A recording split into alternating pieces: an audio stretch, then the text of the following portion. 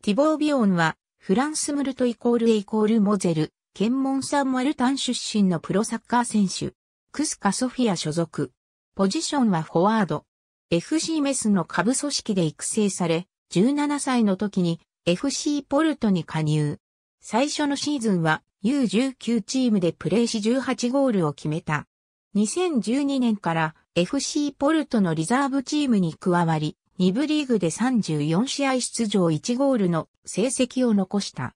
2013から14シーズン当初は再び FC ポルトのリザーブチームでプレー。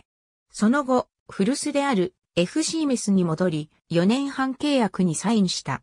2015年8月、FC メスのサテライトクラブであるベルギー2部の RFC セランに買い取り、オプションなしの1年間レンタルで加入。2017年8月、シャモアニオール FC に移籍。年代別のフランス代表歴がある。